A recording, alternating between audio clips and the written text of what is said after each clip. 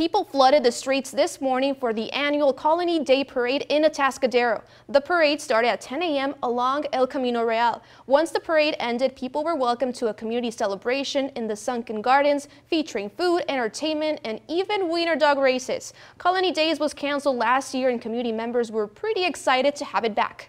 You know, we missed having this to this level last year during uh, because of COVID so much, and it's just absolutely amazing to see the city open up and be able to have activities like this again.